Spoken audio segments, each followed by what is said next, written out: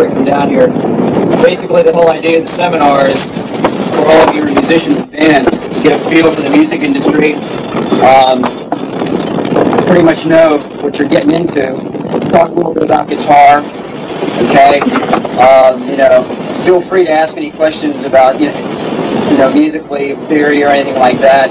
Whatever's on your mind, that's the reason he's here, is basically to, to help you out. You know, whichever situation you're in, playing and anything. So if you have any, if you have any questions, or you Well, uh, the one thing I could say is, I just the last one we did is the first time I've ever done this, so this is the second. So don't expect me to just come out and start handling this really good because it, it's actually very I'm very nervous about speaking in front of people. So I mean, you got to help me out with questions, and if there's anything I can out, I'd be glad to do it.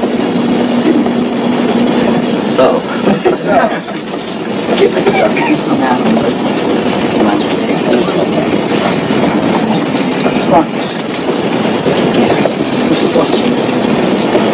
Everybody had a million questions to ask me about him. Go ahead. Go ahead, man. Uh, what kind of effects do you use when you're playing out, say, in concerts? In, in the concerts. Yeah. So I have a, a pedal board, and in it there's Distortion Plus, a 10 band equalizer, they're all MXR by the way, a flanger, a chorus, stereo chorus, a crybaby, wah pedal, and um, a Roland volume pedal. And I used to use them a lot more, but now our sound man is starting to add a lot up front. So I don't really use them all as much as I used to. Just sometimes I use them more for quiet rhythm parts, just to enhance the sound. I don't really use any echoes or anything for leads ever. Uh, do you have a preamp built in your guitar? No, I I have a distortion plus on the board, and uh, I just keep that on all the time. And uh, just straight Marshalls. That I do some Sorry. That I on that distortion. Yeah. See, if you if you play and you use Marshalls, I had to change the speakers over to Altecs because they're a very bright, clean speaker. Yeah, because the selections are really dirty anyway, and if you start adding a fuzz box to them, it'll sound terrible. But I, uh, I like that added treble and dirt to it. Do you have any problems like high-pitched feedback or using Yes, uh, I, guy the last session was to ask me about that. It's not so much a squeal. Um, I don't have that problem, but I have a lot of problem of, uh, like if you let go for a second, it'll feed back. I mean, you've got to really play so you're, you're, you're covering your pickup. And if you want to do something quiet, I have to either use the volume pedal or I have to click off the fuzz because it'll, it will squeal. I mean, I, I got used to playing that way. Go ahead, Larry. Just What kind of music you started playing and how long did you play before you got picked up and lost with another band? Well, I was seven, and I'm 25 now. Um, I don't think I knew what I was playing when I was seven. I just played the guitar. I mean, one of the early things I remember was I, I was strumming, um, is it Malaguena when it has the E chord, and I thought it, like that was really good because I could switch an E chord and strum it fast. It, it was just anything, you know. It was an, an old Spanish guitar, and um, then I just started playing anything like Gloria or Louie Louie or whatever was out at, on the radio. And to the second part of that question, I met Ozzy when I was 22, and I've been with him since then. So it's about two and a half years now. Can you speak up a little bit? Oh yeah. Tommy's great drummer. Okay.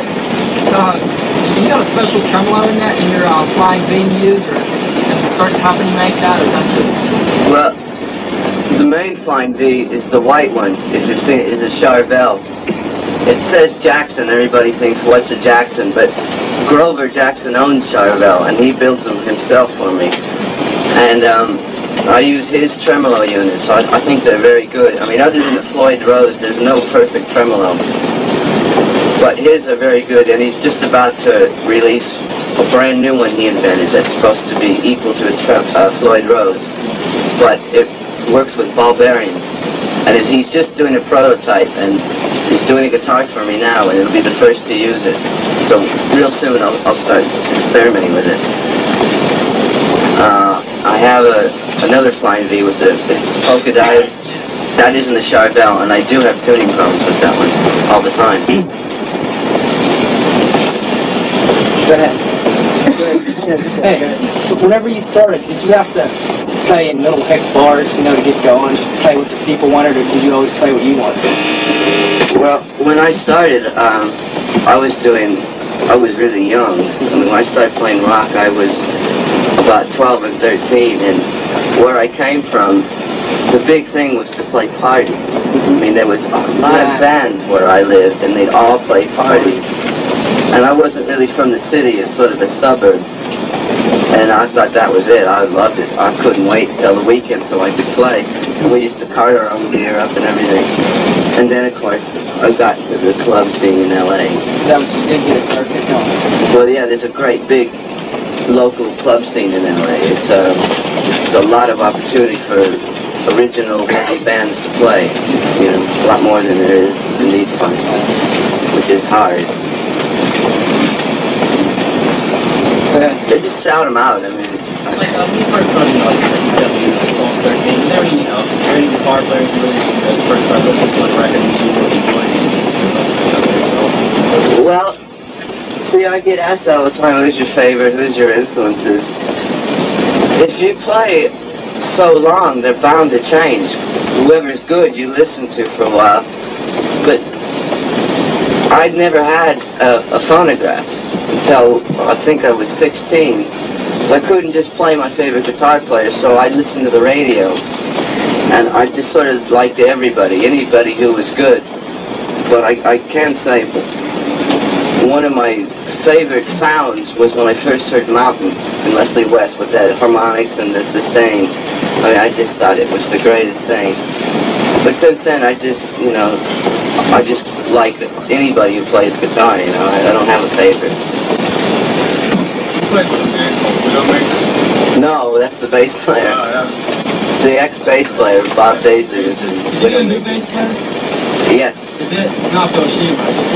No, his name is Rudy. He used to play with me in L.A. in a local band.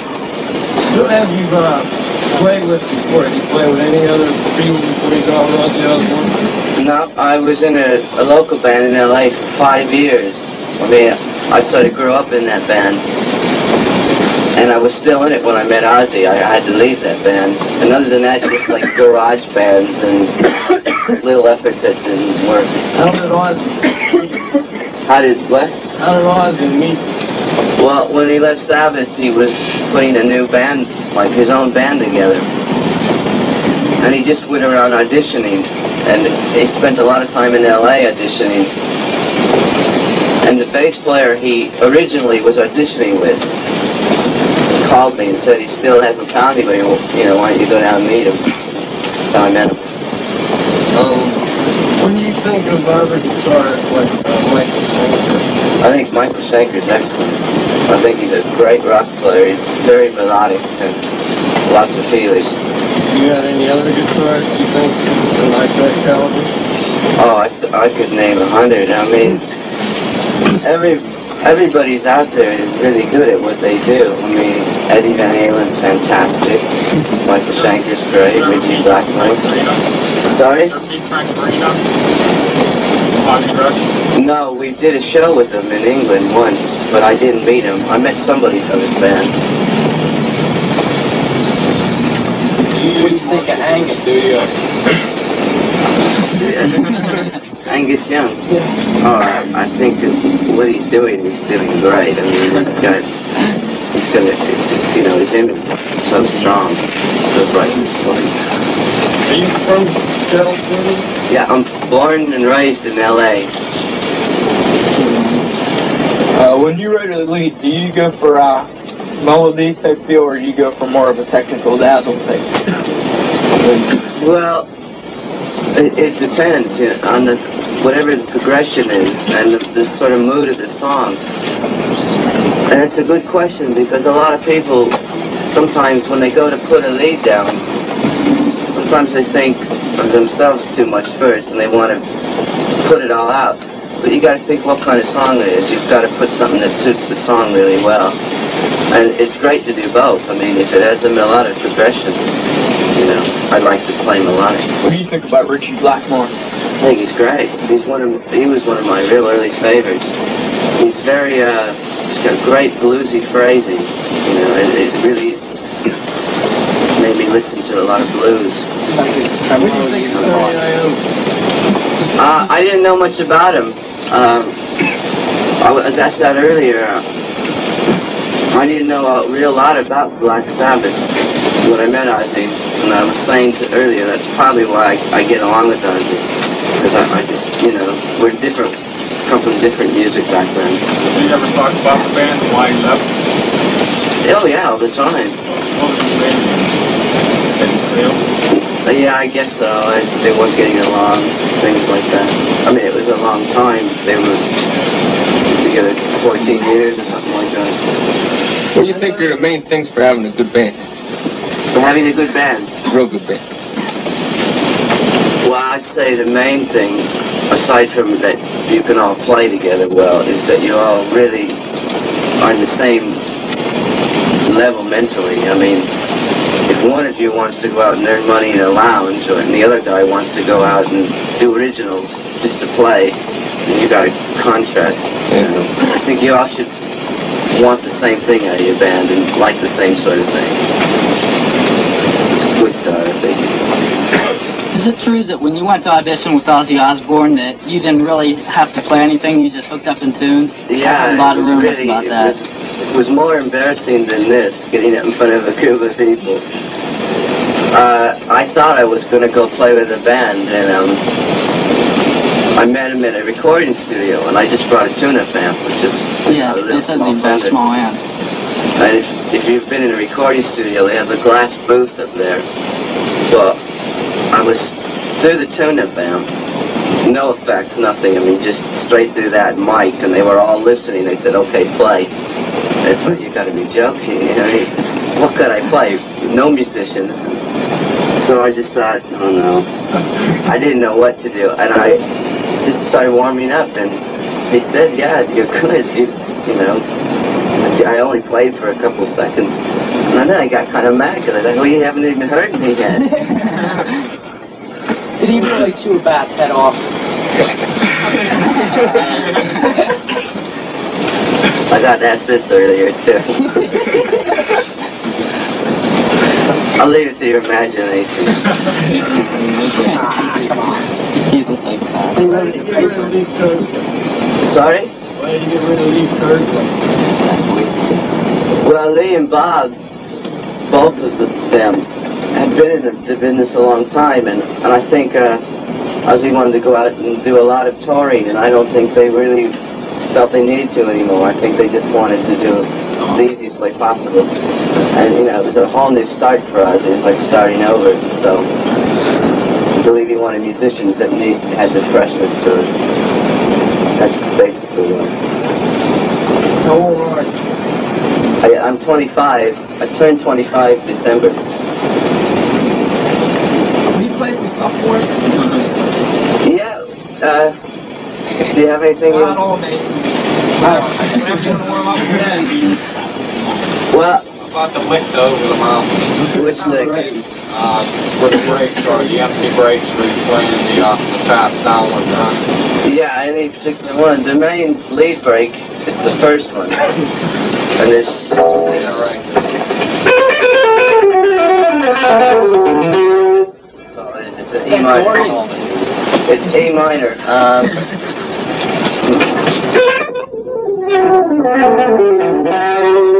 just E minor instead of going.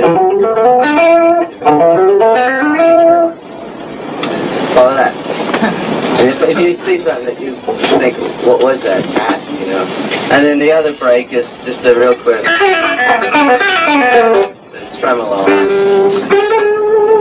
That's really all there is to it. I think. It's just one real lick and it. The rest is just a noise. yeah, the last session, uh, it's really hard to just sit up here and play anything. So if there's something you want me to play, uh, you know, I'll try to You play. know that uh, stores is good live in uh, the middle of uh, suicide solution. I'll tell you what, you coming tonight? It's a bit long. and also, it, it's sort you sort of have to do all that loud. There's a lot of feedback and. But is there anything in particular in there, like Mother Soul of Mother Earth? Okay, it's an E, and it's very similar to a harmonic scale. It starts on E flat.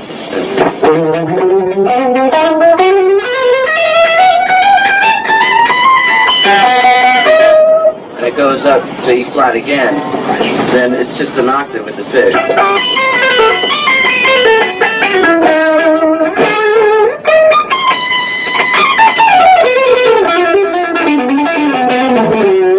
It sounds a lot different live. I'm trying to slow it down so you can see what I'm playing. But it'd be like.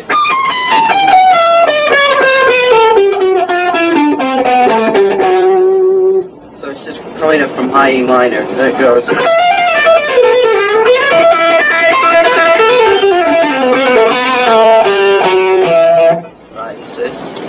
The only weird notes in there are the the harmonic parts in E minor, which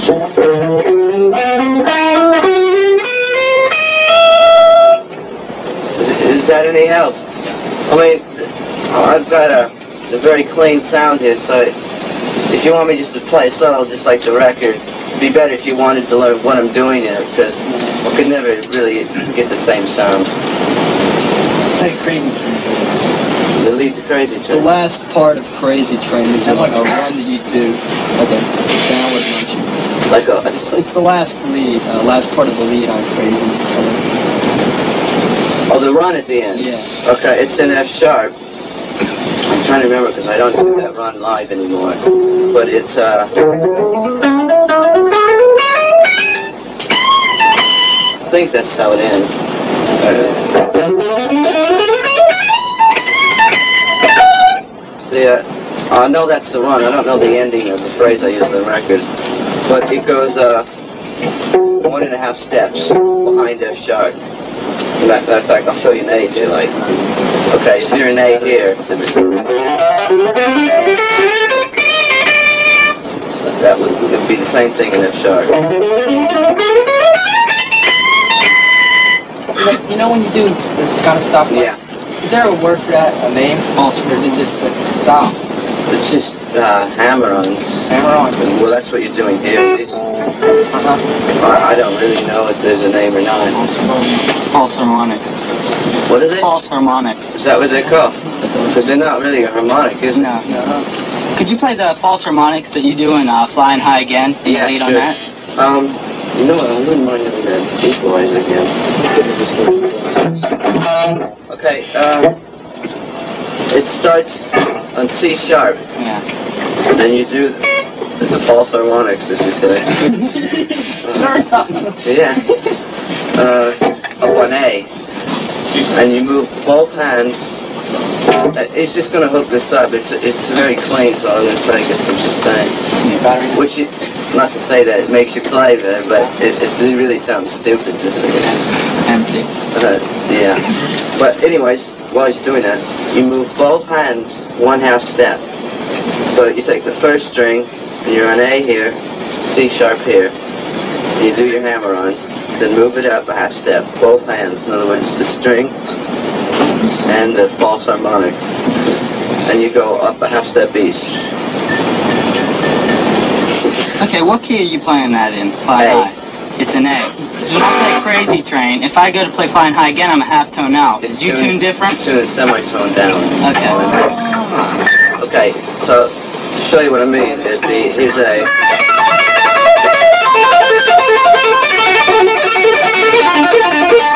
then you move to the key of E.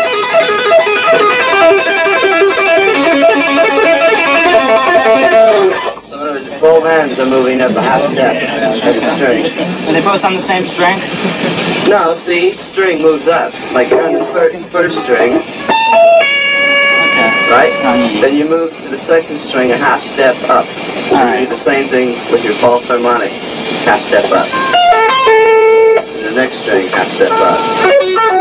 And so on. And same thing, you go up to the fourth fret and the seventh, which would be an E.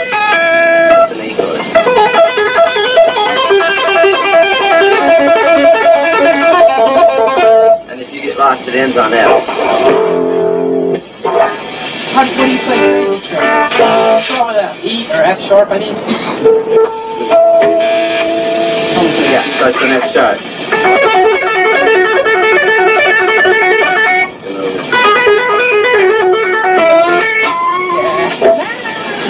Can you play the beginning of Crazy Train?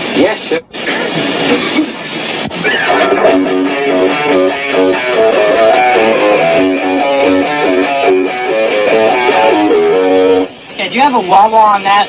Push No. all the way up at the beginning? No, just distortion like it is now. Because it, it does sound like you have a wah wah on that. The rhythm.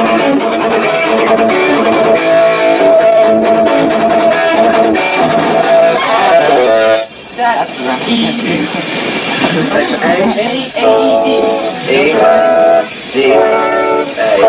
What's the run there? Do a G and like down. Oh, yeah. Sometimes. What's the run you do right after that? after it, After the rhythm you just play. Yeah, Just that one.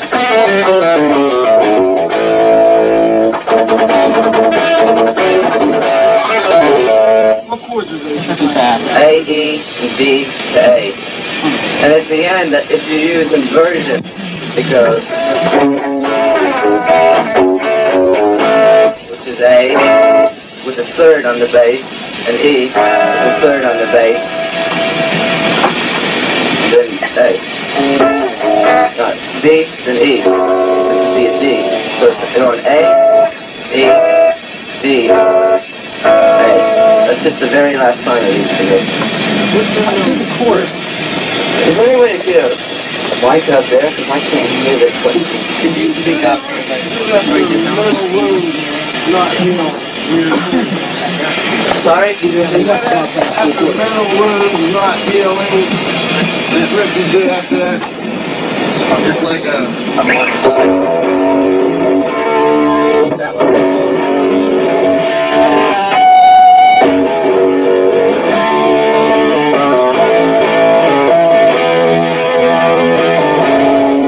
Then the next verse you do a riff.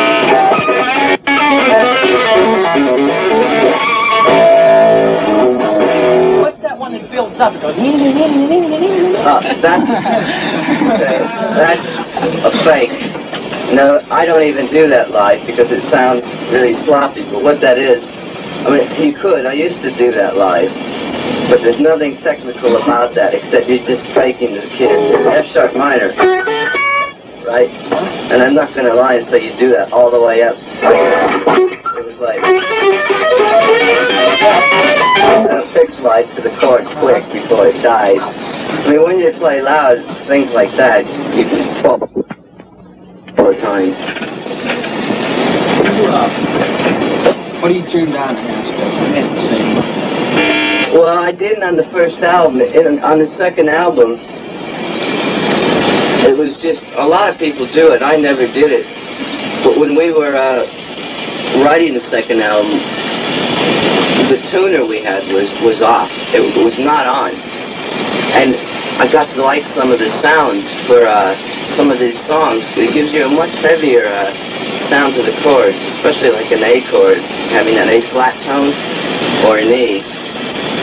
Um, basically, it just gives you a more sort of meaner sound to, to the chord. Live, uh, some of the songs are tuned normal, some are tuned down, so I have some different guitars tuned differently. That's basically all it is. So what type of strings do you use? Exercise, you go through, like finger exercises before you go out on stage, like warm-ups. Well, I do a lot of things um, with the first, second, and fourth finger just to sort of warm them up. Uh,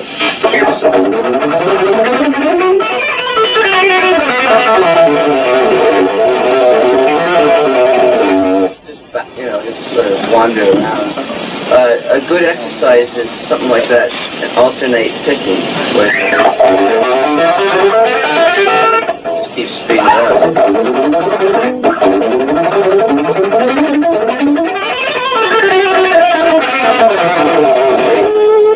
Something like that.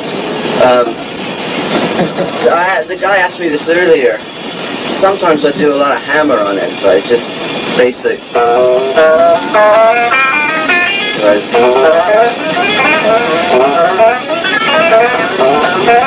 you know, you go up and down the neck.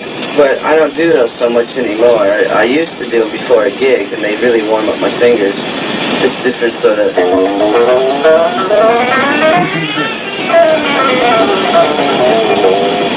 Songs, do you all get together, like all four members of the band, right? or do you work on the music by yourself and Ozzy works on lyrics? Well, the first album, when I first met Ozzy, there was no band yet. So I was staying at his house, and he and I were just sort of knocking ideas around. And then we met Bob. And the three of us, while we were looking for a drummer, auditioning, we were just sort of messing around with riffs and ideas.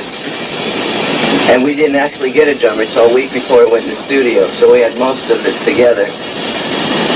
Mainly it's just sitting around with a tape recorder on and just keep keep at it, keep looking for ideas. And you'll finally come up with them. I mean, it takes a long time. It takes a few days before you come up with anything at all. But it's not really ever the whole band at once writing because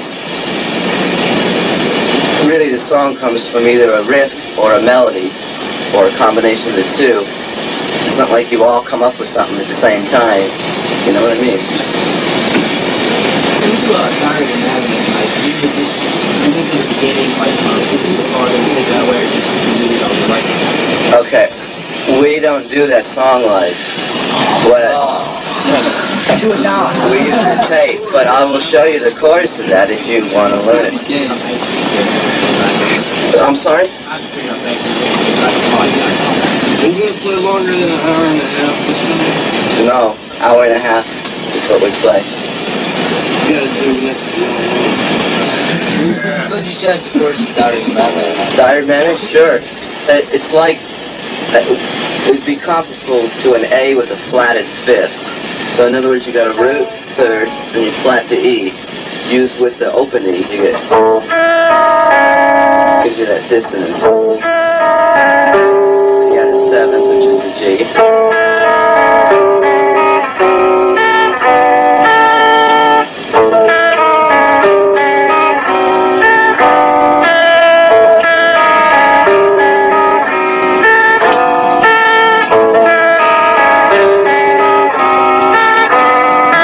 Then it goes to A minor 9.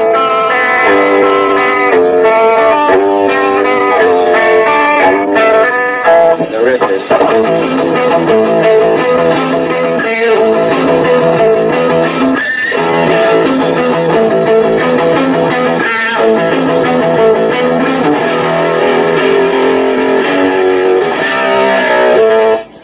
going.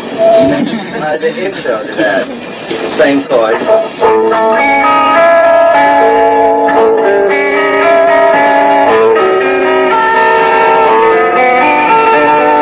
This is A major 9.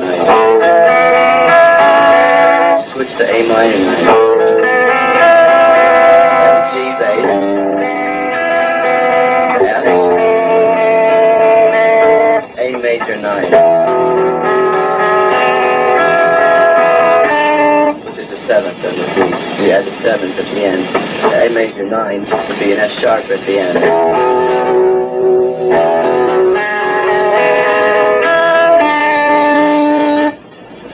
There is to it. Unless you want to learn any of the middle parts of it. But, uh,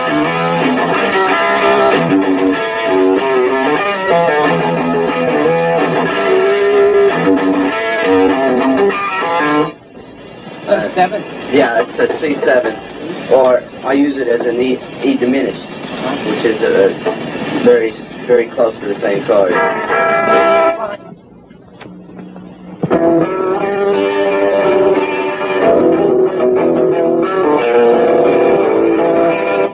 Goes to like E minor.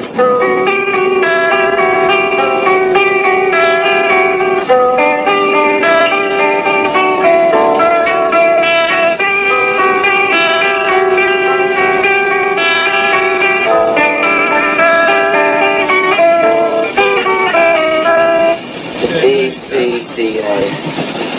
You guys do Sabbath numbers tonight? Sorry? Sabbath numbers tonight? Yeah, we do um, Iron Man, Children of the Grave, and Paranoid. Yeah, Jonestown. Yeah, same three. What you gonna do? How much different are you gonna do this time? Well, to be honest, the main difference is the stage set. Uh, it, we have this like castle That's all. where the, the riser opens up and uh, Ozzy comes out. Well, in the beginning, he appears in a chair. At the end, he comes out in the hand, and we have a midget that throws liver. I mean, I mean, I mean, there's a lot of bizarreness. As far as? Uh, we do one, two, three, four, five. I think the kids ended up saying it wasn't as good as the record, and there's no need to have that. I mean, that was one of the examples in the studio where we went over the top with, with uh, overdubbing. And you suffer because, I mean, I, I don't like to sort of do it, not do it properly. Know what I mean? It sounded empty. Don Airey or uh, Yeah, Don. keyboards? Just all your keyboards, whatever, or Ozzy Osbourne? Well, he did the first album. He didn't play on the second. He's on this tour now. He wasn't touring with us last year. But I think he's probably going to stay because he's, he's a great player. The only reason he didn't tour last year is because he was still in Rainbow. Is he going to be out front with you guys, or is he going to be behind? Well, I don't know if you've seen the, the pictures of this castle thing, but they're big arches. At the moment, he's up in the yard, like looking out the window. Where's the drum set? Well, there's a, a riser in the center with, with steps. It comes from inside the riser. Stage black. Is he gonna blow himself up? No, he's not. Uh, we were doing that. When- we have the hand, he was meant to blow up and all this stuff flies everywhere. But I mean, the kids weren't really buying it. So, I'm trying to be good. it would if it worked. Right, it would have been great. Sorry? Gonna smash anything tonight? Smash it, yeah. I think he's just sitting here and studying a guitar. Look, if you want to give me one, I'll certainly have a go. I got this guitar. When you played here with Def Leppard, you put on a hell of a guitar solo. So you, uh, when you play your guitar solos, you change them every so often, or you play the same ones every night? The solos. Yeah. You mean in the center there was, I think you, I'm not sure what song you cut out. Just you, yeah. Well, it's basically the same. I just improvise on it. Um, it depends actually the sound I have on stage. If it's a bad sound, I do a very sort of basic form of it. It sounds really good, I like to carry on with it. I, uh, I had a different one in, in England. It was a lot longer, but I mean, the kids didn't really know who I was, and it's kind of, I just wanted to get it short and to the point. They for one of the best guitars of the year, I would have shot them all. Yeah, that, that was really great. It was the best thing that's ever happened to me. Are you listening to Old Mountain? Yeah, that's our opening number. Opening number. That's good. Did you have one more question?